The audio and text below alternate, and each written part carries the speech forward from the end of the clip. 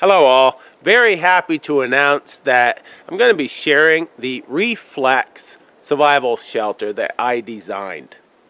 I came up with a design for a shelter that I have been teaching my students and using in very low temperatures and throughout my Canadian winters and summers. So this is a proven shelter, but there's a couple upgrades that I wanted to add to it. So I put those in this design and I'm going to share that with you today. So I had talked to Brian at 2Go Systems. As you see, it has my Maritime Wilderness Skills logo and 2Go Systems.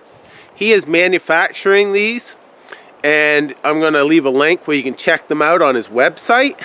He'll be able to provide them to you all so you can carry one of these in a kit for survival or just for camping. That's the beauty of this. Very small. It's loosely packed in this.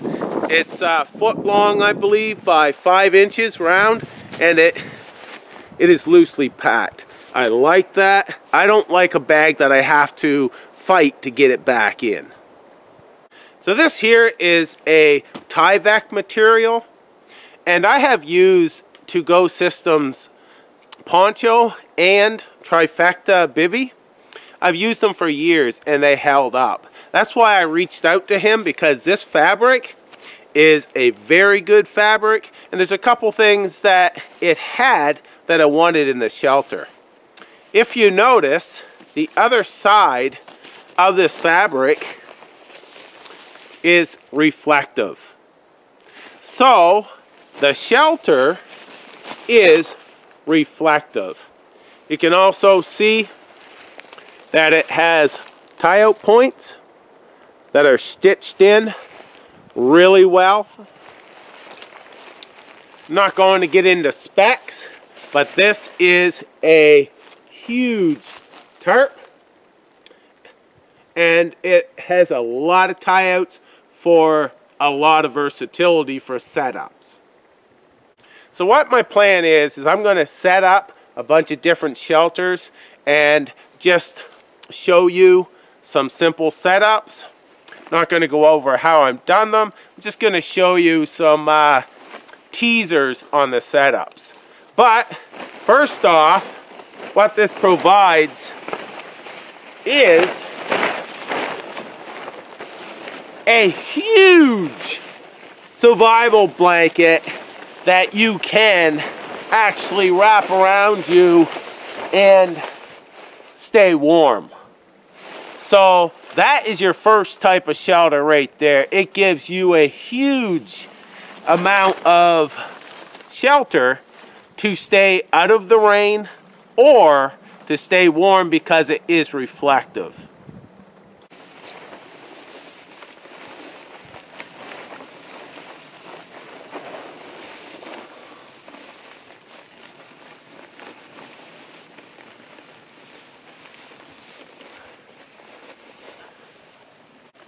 That there, it's blocking the wind right now, and it has the reflective qualities. So this is the first shelter design. So I teach a classic lean-to. It's simple, it's effective, and it has taken me down to very low temperatures, like I mentioned, and in many storms I've stayed dry. So it's a proven shelter the way to upgrade that would be to add walls. Then you stop any blowing rain from the sides and wind. Now, I added walls to this design and then I added a reflective quality. I can put a long fire out front, the heat's going to come up, roll here, and right down onto you. Now you see also I have lots of room that's the bed there. I've got room for gear.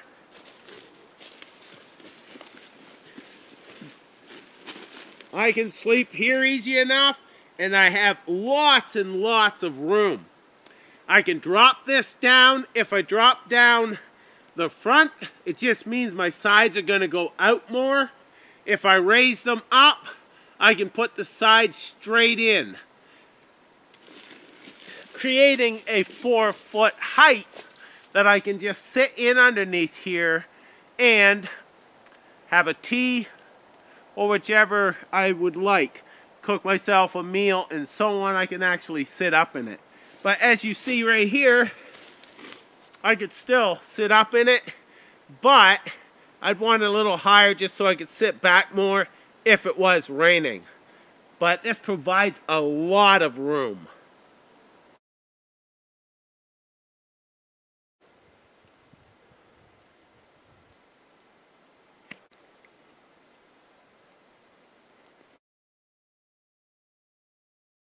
So this here is a plow point design.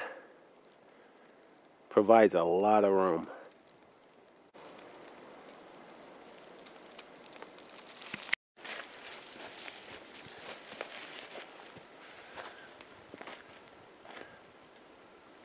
This here is another design that provides a lot of room. A lot of people like the plow point design. This is a variation of that. Got lots of room down below. I can put gear as well. But what I like about this, you can sit right up in here and block rain. The only way rain's to get in here is either if it's just coming this direction, blowing directly in. Otherwise, you're blocked all the way around. Very nice, very nice shelter. You can have a little fire out there. You can still heat yourself from head to toe, even in this shelter.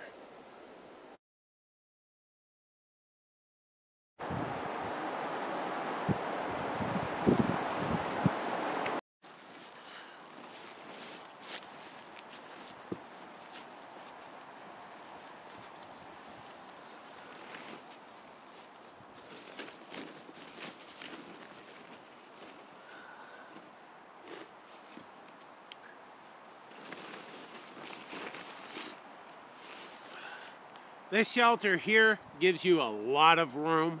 Now, if I would take this shelter and stuff it full of leaves and then crawl right inside this, having a leaf bed underneath me and leaves surrounding me, of course, leaving a little bit of ventilation, which you do have anyhow, but you always should leave ventilation.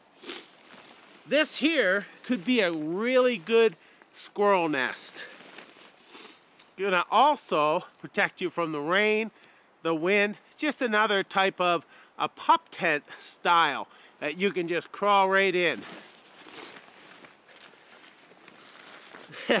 Hard to get a good view, but I have a lot of room. I'm gonna show you the other end. I have that closed off as well.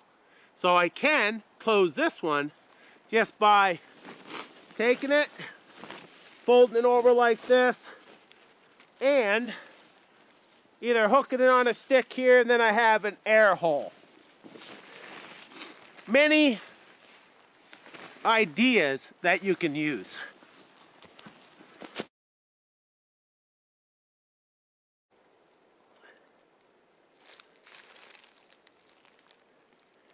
You see how the tie-out tabs are sewn in. Very well done. A Prusik and a toggle makes short work.